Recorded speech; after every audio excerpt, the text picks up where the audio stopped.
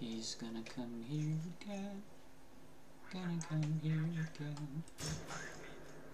See, this is what you have to do if you... Oh, wow. Um... Okay.